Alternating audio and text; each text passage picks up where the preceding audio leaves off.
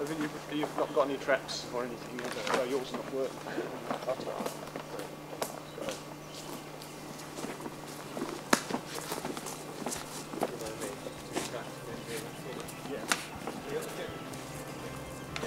Tonight we're at Redgrave Fen in Suffolk with a group of men who are searching for elephants. Not the big game variety that you see in zoos that wander around in herds. These elephants fly around at night. Although they are often in the company of leopards and tigers, they're also found with lobsters, old ladies, goats, and the odd setaceous Hebrew character. These elephants are moths, and we're with members of the Suffolk Moth Group on one of their weekly field trips in midsummer.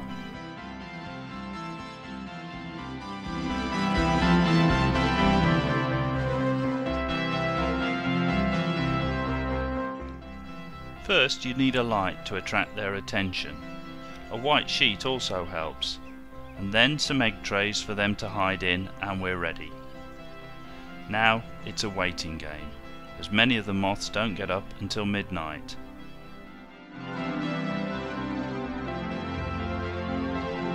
Once they see the light, the moths fly towards it, possibly mistaking it for the moon, and then drop onto the sheet and often climb into the egg trays. So I asked the group, why do they do it? I find it quite a relaxing hobby, seeing beautiful creatures out in the wilds. Uh, it's nice to see natural things, which are nice and colourful. I like adding to the sort of scientific knowledge, know, going out recording, doing a bit for conservation, working out where the rarer things are, how well they're doing. So I think it's important to record what's there, how well it's doing. Otherwise, it'll have gone before you know it. Fish you out in the fresh air. There's plenty to see as a rule. New species coming in all the time. Suffolk's a good county, got two good areas which are unique to the county. The Breckland and the Sandlings. It's a good area for migrants as well later in the year. God's county, isn't it?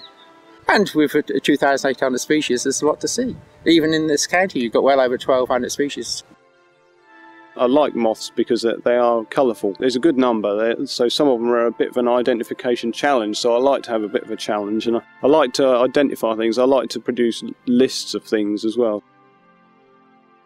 Deep down in your system, I guess there's some sort of collecting, uh, hunting instinct. I've always been interested in wildlife as a kid. You know, a natural extension of being interested in wildlife is you start writing down the birds you've seen at the local park and you start recording other things, and it's just an extension of that.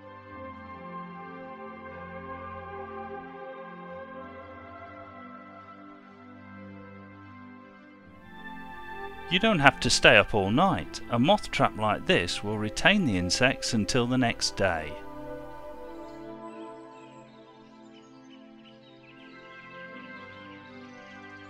Uh, when you put a moth trap out, you never really know what to expect when you open the trap up in the morning. It's, it's like opening a box of delights. You, you could get anything. You could get a migrant that's come all the way from Africa, you know, if the conditions are right. And here is a selection of some of the moths that were caught. Their rich patterns can now be seen in all their glory.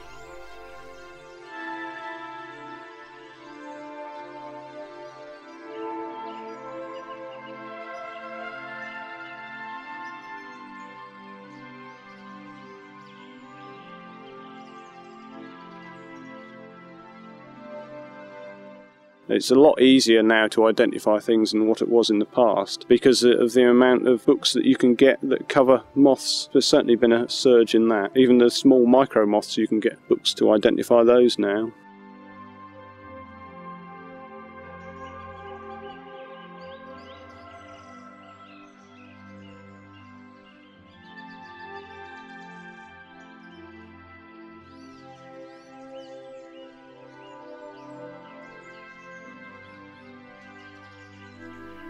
I asked the group if they'd noticed any trends since they'd started recording moths.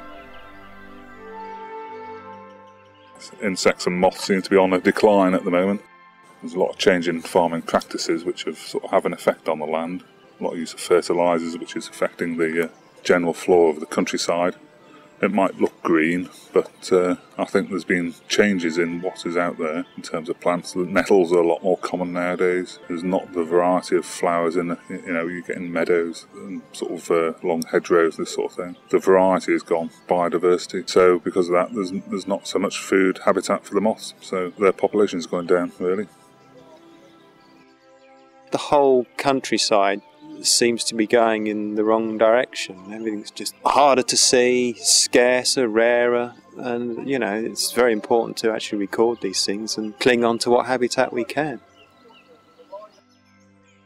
certain moths are becoming rarer because of changes in land use, the intensification of agriculture, and management practices on uh, meadows and woodland have changed. So the, the, moths can indicate what's going on in the countryside. And uh, obviously, moths are quite low down in the food chains. They're an important food source for a lot of things. Uh, you know, for example, bats. So you know, if there's something wrong with the, the moths, then that's going to have a knock-on effect uh, with with other species further up the chain. So it's it's important to monitor what's going on.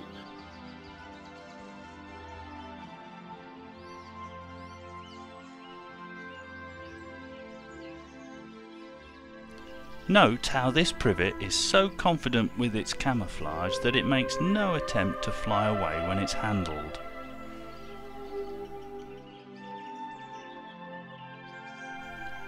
The adult moths are actually the final part of the life cycle of these enigmatic insects.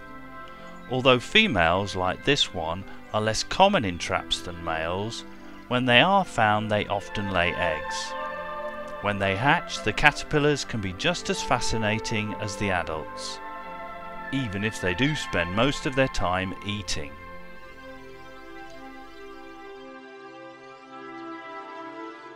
I've always been interested in moths really ever since I was a, a small boy because I used to um, rear privet hawk moths and the other big hawk moths in uh, shoe boxes. My mother will tell you lots of times they escaped from the boxes and she found them wandering all over the house so uh, I wasn't particularly popular sometimes for that reason.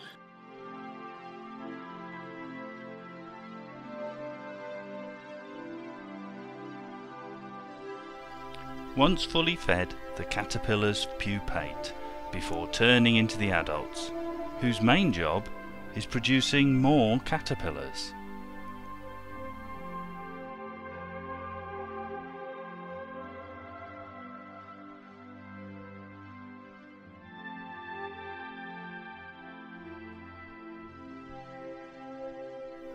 Oh, and did they find any elephants? Yes, they did. Just look at them. Aren't they superb?